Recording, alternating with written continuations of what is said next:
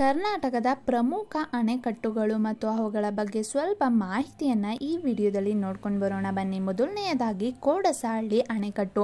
ಈ ಕೋಡಸಹಳ್ಳಿ ಅಣೆಕಟ್ಟು ಇರುವುದು ಯಲ್ಲಾಪುರ ತಾಲೂಕಿನ ಕೋಡಸಹಳ್ಳಿ ಎಂಬ ಗ್ರಾಮದಲ್ಲಿ. ಅದರಿಂದ ಈ ಅಣೆಕಟ್ಟನ್ನು ಕೋಡಸಹಳ್ಳಿ ಅಣೆಕಟ್ಟು ಅಂತಲೇ ಹೇಳಿ ಕರೀತಾರೆ. ಈ ಕೋಡಸಹಳ್ಳಿ ಅಣೆಕಟ್ಟನ್ನು ಕಾಳಿ ನದಿಗೆ ಅಡ್ಡಲಾಗಿ ಕಟ್ಟಲಾಗಿದೆ.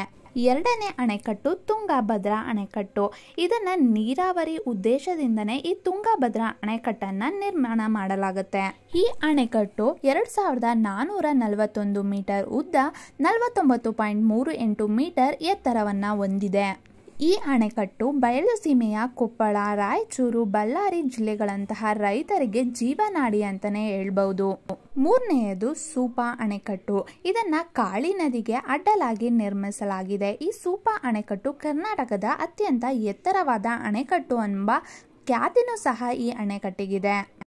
ಕರ್ನಾಟಕದ ಪ್ರಮುಖ ಅಣೆಕಟ್ಟುಗಳಲ್ಲಿ ಒಂದಾದಂತಹ ಅಣೆಕಟ್ಟು ಲಿಂಗನಮಕ್ಕಿ ಅಣೆಕಟ್ಟು.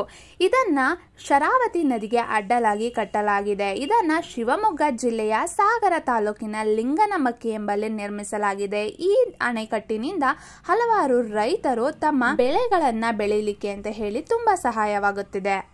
ಮತ್ತೊಂದು ಕರ್ನಾಟಕದ ಪ್ರಮುಖವಾದ ಅಣೆಕಟ್ಟು ಬಂದು ಕೃಷ್ಣರಾಜ ಸಾಗರ ಇದನ್ನ ಕಾವೇರಿ ನದಿಗೆ ಕಟ್ಟಲಾಗಿದೆ. ಇದನ್ನ ಶ್ರೀರಂಗಪಟ್ಟಣದಿಂದ ಕೇವಲ ಹನ್ನೆರಡು ಕಿಲೋಮೀಟರ್ ದೂರದಲ್ಲಿ ನಿರ್ಮಿಸಲಾಗಿದೆ. ಈ ಅಣೆಕಟ್ಟು ಮಂಡ್ಯ, ಮೈಸೂರು ಜಿಲ್ಲೆಗಳಲ್ಲಿ ಸಾವಿರಾರು ಎಕರೆಗೆ ನೀರುಣಿಸುವ ಒಂದು ಜೀವನಾಡಿ ಅಂತಲೇ ಕರೀಬಹುದು.